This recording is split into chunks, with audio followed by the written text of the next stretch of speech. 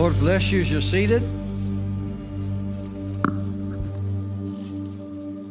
Pastor John forgot to tell you that I was only 14 when I came that first time to the church.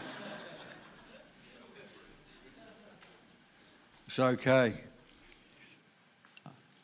How many know that every season is a good season?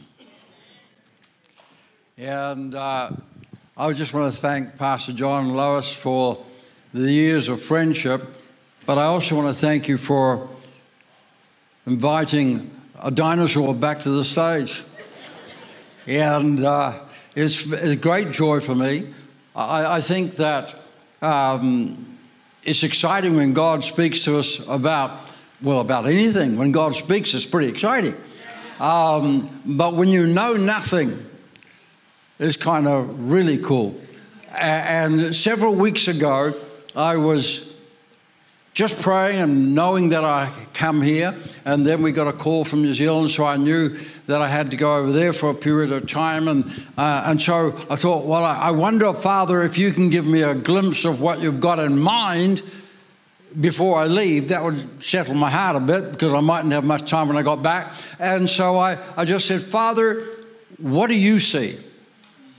What's in your heart? Bearing in mind that it's what, four, five, six, I don't know how many years since I was in the church here, and I have not a clue. I, I had no idea about anything about the church whatsoever, any just anything about it whatsoever, full stop. And so I started with a blank piece of paper and just said, Father, whatever you think, whatever's in your intention, and that's important to me because we can see things in the spirit and we can see things prophetically, but I want to see what he sees. I want to see what my Father has already programmed, what He has already destined to be, what is on His agenda. We can have a lot of things on our agenda. But, Father, what's on your agenda? What have you purposed to do? And I, um, as soon as I did that, I certain things began to take place. And I, I want you to accept the integrity of my heart that I knew nothing. Zero. I hadn't a clue whether John had turned purple or uh, whether he now wore, wore, a cape and flew around the auditorium. I, I, had no idea what was going on in the life of this church. And um, I began to intercede for you. Just excuse me. You know what? Jesus never had an iPad. What a blessed thing it would be. Yeah. And the first scripture the Lord gave me was Ecclesiastes 3:1. Just out of the blue.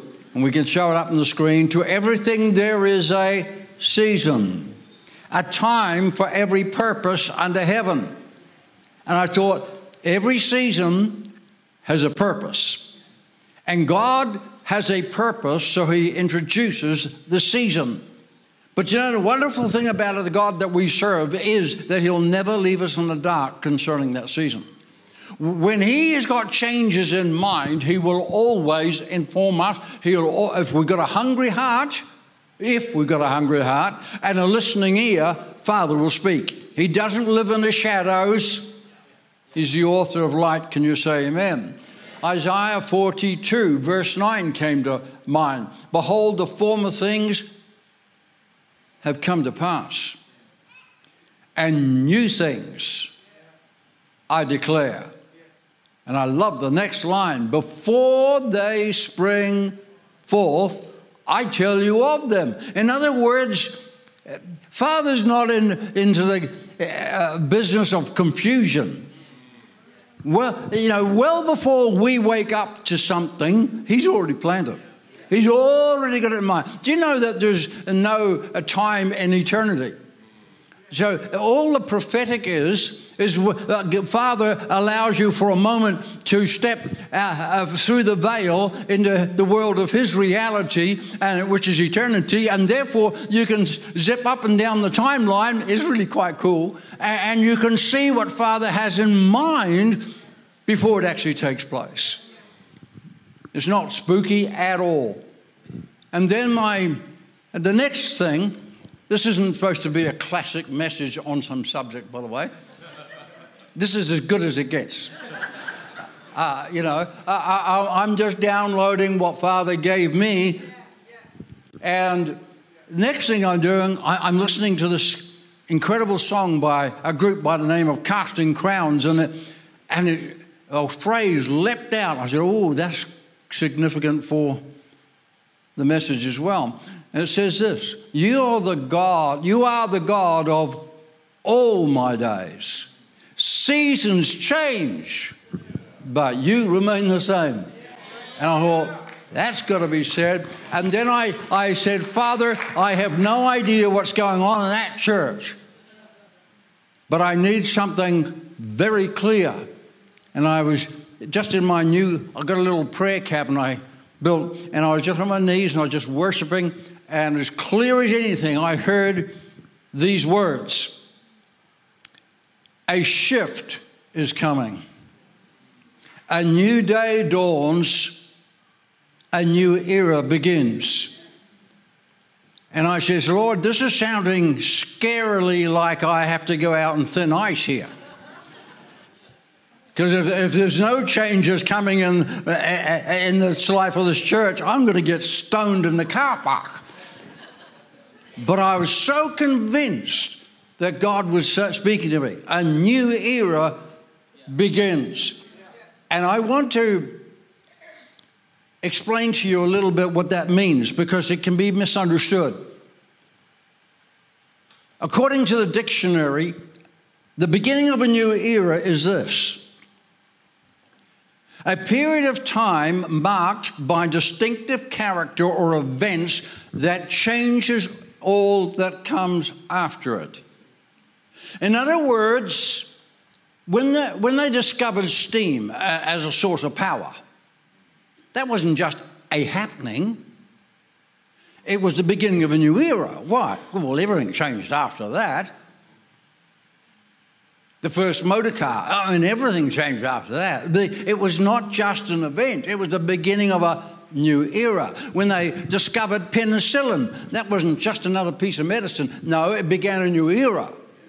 If I was to say the word 9 11, everybody knows what I mean. Why? Because the whole world changed after 9 11. It wasn't just a happening, it was the beginning of a new era. So by the time my father has been downloading all of this, I'm beginning to suspect some things. And I mean, like Rome, they, all this bunch of guys wanted to do was build a city and call it Rome. Well, that's what they did, but it changed the world. Why? Because of the beginning of a new era.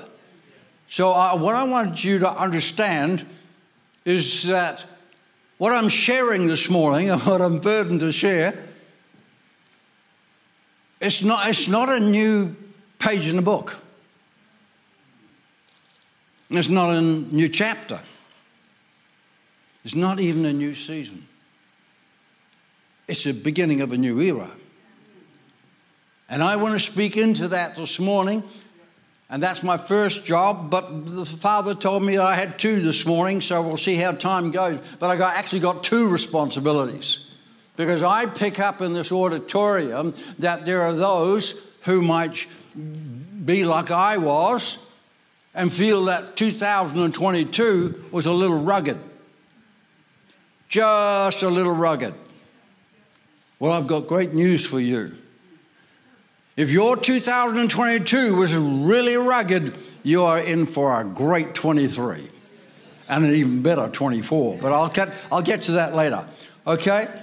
But I felt I had to say something and declare it. And that was this long before, long before Pastors John and Lois and anybody else in the leadership team ever thought about what's happening right now, God had it planned. They, they didn't come up with the idea, they heard Him declare His idea. And I think that is very, very important. Now, with every God given, God initiative change of era, as it were, introduction of a new era. But away, please don't think for a second that I'm speaking just about the church corporate. I am, definitely. But who is the church? Aren't you all the church? These are leaders in the church, but you're, you're the church. Therefore, if it's the beginning of a new era, I believe, and I want you to receive this prophetically, that this is a moment, this is a time, this is a day of appointment that everybody in this auditorium can begin to believe in their heart that God has a new era for you that, that yesterday's contradiction will not determine the promise and the fulfillment of tomorrow. And so I want to stir your heart about that. But with every God given, God initiated new era, two things are vital. The first is an honoring of the past. I think we've got that on the screen too. An honoring of the past. And the second is an embracing of the future. Now, those two things are critical because without the honoring of the past, the future, listen to me carefully, the future cannot build on the legacy and foundation that's already been paid for by the past. The strength of that legacy, the inherited legacy, is utterly critical to the future of God's people. But without the embracing of the future, Mm, the greater promise already established and given to that previous era. The legacy, the dreams, all that contained in that, they can never be fully fulfilled unless, unless the future is also embraced. Isaac, Abraham, Isaac, and Jacob, we all know the story, but I'll tell you one thing when Isaac, when Isaac picked up the new era, he didn't start from scratch. Isaac knew that the power of his tomorrow lay in the covenant given to his father Abraham. And so his job wasn't to come up with a covenant, come up with a commission, no, because God had already given it to Abraham. His job was to pick up on what God Almighty had given and bring it to a whole new level and bring it into a future of God's intention. And because he was able to reach back to the covenant of his father, but reached forward to the next generation. It went Abraham and Isaac, but it also went to Jacob, and Jacob became Israel. But I want to tell you this right now if Isaac had decided that no, I, I, I, I uh, we start from scratch, I'll tell you what, there'd been no Jacob, there'd been no Israel. And so, covenant, I believe fiercely in a covenant. I believe fiercely in legacy. I believe God does. And so he is involved in the birthing of a new era. Three things. Let me drop these down as well while we're here. It's wonderful. There must be great liberty in this place. Do you know why? I haven't even bothered to find the clock, let alone look at it. Which is a fearsome thing for you, really. But the first thing is a willingness and desire for change. Now, I've just said the covenant does not change, but structures and methods do. So, part of, part of the process of change, part of the process of embracing a new era, and I know what I'm talking about, because I'm just embracing one too. And for those of you that are not, well, no, I won't say that, but that think I should retire, we've tried that five times. It doesn't work. All right. Uh, I'm 75. I've been preaching for 56 years, and, and I'm and the Lord's just been downloading a whole bunch of new stuff that we're going to initiate over the next three or four years. So it's, it's nothing to do with age. It's got everything to hear about hearing what Father is saying about the present and about the future. But a willingness for change Well, that's imperative. Not only as a church, by the way, but you as individuals. I, so sense here in this place this morning that God is not just speaking to the church collective and its leadership, which He is, but He's wanting to reach deep down inside of every single one of you and draw out that hunger for a different tomorrow, for a new tomorrow.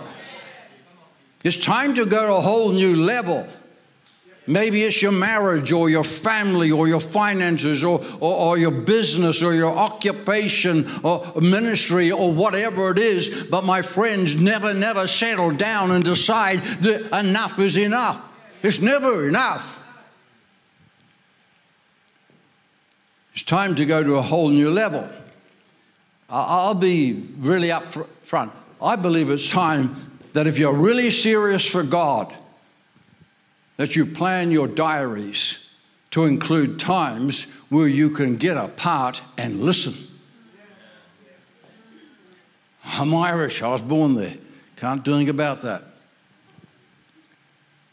But even us Irish get the simple things. You can't obey what you have not heard.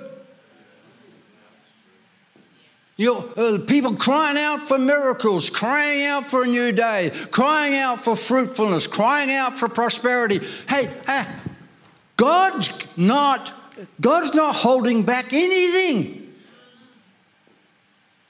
But he's, he's wanting some people who will get aside and start to listen with a fully surrendered heart, with an unconditional availability, so that God can speak what He actually wants to speak into your life and into your heart. Some new things are coming. So, number one is a willingness and a passionate desire for change, for more, increase, enlargement. That's got to grip your spirit. The second thing is, and you, I'll be very, very brief on this, but a willingness to let go unresolved issues. A willingness to let go unresolved issues. My friends, as I said, 75, preaching 56 years, I've learned something. For every single person here, I got, to, I got news for you. There'll always be something that, that, that you don't feel that you got justice on or, or you didn't get the answers on or you still got questions about. Uh, look, join the party. But you got to dump them. You got to sever them. You've got to cut them off. You got, you have got to let them go, people, or they will anchor you to yesterday's disappointments rather than propel you into tomorrow's promise. Let them go. Number three, a desire for a new wineskin with increased capacity. It's really simple. You cannot put 10 liters of wine into a wineskin designed for five liters. Something's going to rip. So, so I want to say this you honor the past, you embrace the future, but whenever there's a change of era, it's never to maintain the status quo. And, and you need to be willing to freshly examine things like structures or even leadership patterns or perceptions or thinking. Why? Because God's about to, to bring in a new era of enlargement and increased capacity. Thinking then has to go to a different level, but never with the dishonoring of the legacy already established because the future depends on the covenant already given. But you know what? As I was continuing to wait on the Lord, I thought the whole thing was finished then, and I felt the urge of the Holy Spirit says, No, for this church in particular, there is a fourth point. And so it's obviously a very important one. And this is the point an anticipation of the miraculous. An anticipation of the miraculous as I, as I just began to lean into this new era that's coming. And I did. I, I really prayed into it. And Father kind of drew back the veil and showed me some stuff that He intended. And I'm telling you now, you need an anticipation of the miraculous. Are you, are you believing for the miracle margin? I, I've got a book out there, and this is not a me trying to sell a book. In fact, if you can't afford it, grab it anyhow. But, uh, you know, this book here, I wasn't, I wasn't going to bring any books. And Pastor John said, Well, have you got the right things like your setups and all? I said, No. I wasn't intending to bring any, but it was a spontaneous last minute thing because this book says, You did what? You say, That's a strange title. Yeah, it's a strange story. It's a, it, someone said, I want you to write an autobiography of the last 50 odd years in ministry. I says, You'll never get it, not from me. And then the Lord spoke to me. He says, What about all the miracles I've done? What did you learn? What did you actually learn about me? Not about the miracle, but what did you learn about me? When I did that, and when I did that, and when I did that, what, what did that actually tell you about me? And that started making me come alive. And I, I thought, whoa, the God that we serve is incredible. And, and, and, so it unlocked even a, a, new level of the miraculous in my own life. And, and, I'm not saying this lightly, but we have seen so many absolute outright miracles in the last 50 years. Some of them are just staggering. And if I had another hour and a half, I'd tell you about five of them but not just the big church things. He, he's really interested in you. Oh, I can't help it. I'm Irish. I'll give you one story, extra, extra two minutes. Um, Margaret and I were, by the way, she's not with me this morning, gives her apologies. She loves John and Lois, but she's having a battle with osteoporosis and she's uh, had seven, no, eight crushed fractures in her back. And now it's affected her hips and her feet. And this morning she was in quite a bit of pain, so she was not able to be with us. Um, but Margaret and I were, were in Switzerland. In the middle of, you know, you're going to say, oh, he's making this up. I'm not, it's documented.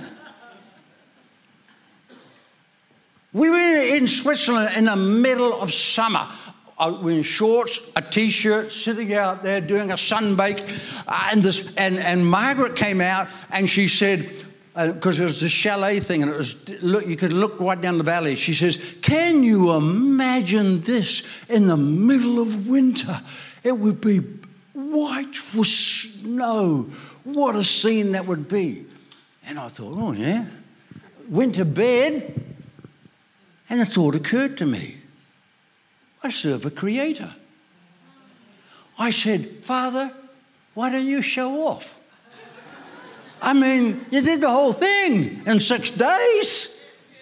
You can do this. Now you say you don't speak to God like that. Yes, I do. He's my Father. And He's yours too.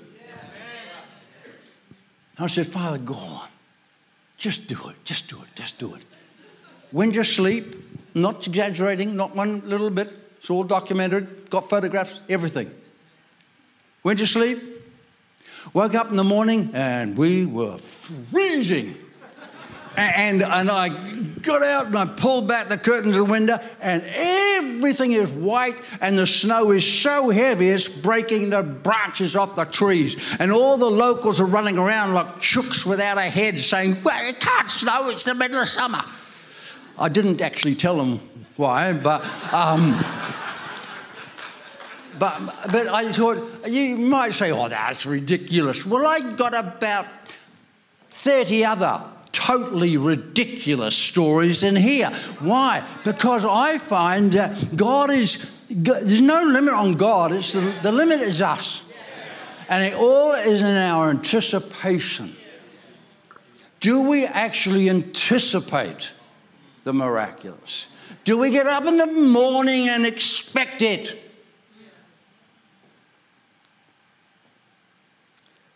I have no idea where I am at. Okay. But I do know this Isaiah 43 18 and 19. We'll take verse 18. Where is that clock, by the way? Oh, well, it, it, it's probably irrelevant. Okay. Isaiah 43 18 says, Do not remember the former things and don't consider the things of old. You say that's a contradiction to what you're saying. No, because original Hebrew uh, says a little bit differently. Um, don't get anchored to the former things and don't let constant worry about the things of old determine how you think in the future. Verse 19 Behold, I'll do a new thing. Now it shall spring forth. Shall you not know it? I will make a road in the wilderness. And I got so quickened on that, I put it in the highlights and I couldn't get over it. A road in the, in the wilderness. And I thought, why would anybody even want to put a road in the wilderness? I can think of a lot of better places to put a road. And that's the Lord spoke to me as clear as a bell and said, That's because you do not understand the word. The word wilderness in the Hebrew is the word midbar. And do you know what it actually is translated? A pasture of grazing land untouched by human hand.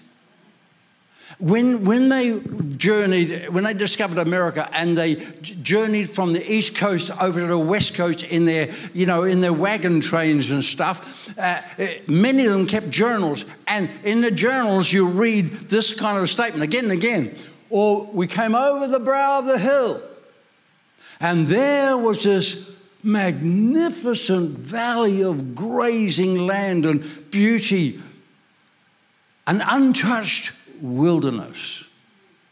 And it was there that we settled.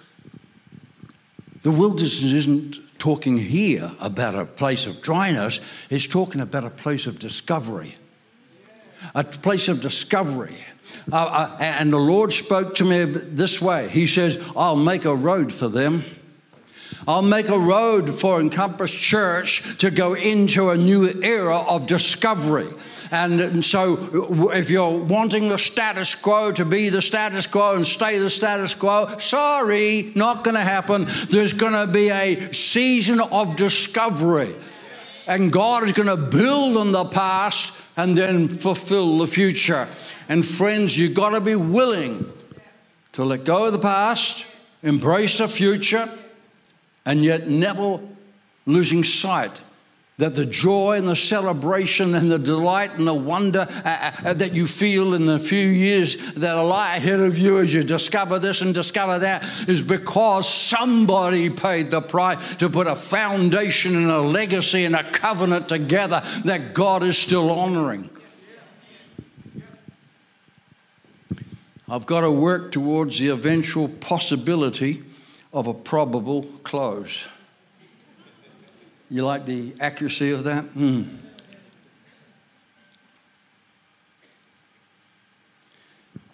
I just want to say this. I, have got other stuff here, but I think I've downloaded what God wants you to hear. There's a birthing going on. There's a birthing. And any mother that's had children will tell you that there's two things when you give birth or you're getting close to giving birth. There's a joyous anticipation and there's some uncomfortable changes in the body. So that's, that's par for the course. There'll be changes going on in the body, but accept that because of the joy of the birth. I preached a message, and because of time is gone, and I know it is gone now, but I preached a message in November the 4th, 2022, at Planetshakers that many of you will want to take a look at on YouTube because I spoke on 2022 explained. Therefore, 2023 anticipated. And it came out of an experience in my own life where uh, when, I, when COVID uh, struck, I was actually in Nashville at the time, uh, when everything shut down and I got home just in time. And, but because most of my ministry is actually interstate and international, and at that time it was probably almost exclusively interstate and international at that time. And then what happened was I got 100% cancellation of all ministry. And then after that, I, I got these uncomfortable feelings in the chest, you know. And I felt fit. I felt I wasn't struggling. I just got uncomfortable feelings. Went in, and that ended up with me having a quintuple bypass. I was seven and a half hours on the operating table, and the surgeon, who's not even a Christian, said, How come you're alive? He says, Not possible. It's medically impossible for you to have existed for the last few years. And it's a matter of record. And I just smiled and I said, ha, ha, ha I know why. and I gave him my testimony. And he, and he said, totally, I don't know what nationality or, what it was. I think it was Hindu or something, but I don't know. But he said to me, I knew there had to be a higher power involved because medically this is impossible. And so they, they but that, but I still had a quintuple bypass. And then when I'm getting over the quintuple bypass, thinking, oh, now I'll get back in stride. Our whole ministry centre, my office, our studio, the staff quarters, everything went up in an inferno just 2 a.m. in the morning on a Sunday morning of all days. And uh, it was razed to the ground. And that led to all sorts of other things. And then Margaret started getting her crushed fractures in the back one, two, three, four, five, six. And so we had a very, very interesting 22. But my father never goes to sleep. And when I was on the and I was on the front uh, deck one morning, and I'm sorry to take so much extra time, but listen to me. I was on that deck one morning, and I said, "Father, I don't really care. I don't care if I never preach again." It'd been 18 months by that stage since I'd been on a platform. I had no invitations. And I said, because it's not about what we do. It's about who we are. And I said, Father, as long as I have this flowing, because, oh man, I was having the most incredible encounters with my Father's heart. And I said, as long as this is flowing, the rest of the world, I don't care. And I actually used these words, so some of you should be alert right now because you use similar words about something else. I said, I guess I guess I'm not going to be preaching on any platforms anymore. And I want you to know that I'm real good about that. And I'm fine with that, Father. Whatever you want is good enough for me. And three days later, the phone started. And it was Blitzkrieg. You know, and I preached in about five different major apostolic movements uh, uh, uh in Australia, uh, uh um, uh, just one after the other, influencers, Planetshakers, equip, and it just kept on going, and it's like a tidal wave. And I, you know what? I just felt that Father was waiting for me to say I didn't need it. Friends, you don't need what you do. You need the revelation of his fatherhood and that you're his cherished son and daughter and if you are, then your tomorrow is going to be awesome. Why? But because He's going to be directing it. I've got to go. I've said that already. You know the safest place on the planet? Total dependence. Total dependence. I wrote something in my notes and this morning got reminded of it myself. The more dependent I am, the more empowered I am. The more dependent I am, the more empowered I am. The more unconditionally surrendered I am, the more available I am.